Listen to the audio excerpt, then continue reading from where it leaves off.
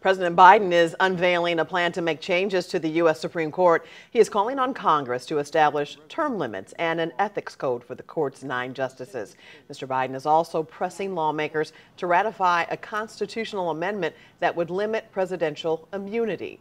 The proposal appears to have little chance of being approved with just 99 days to go before Election Day.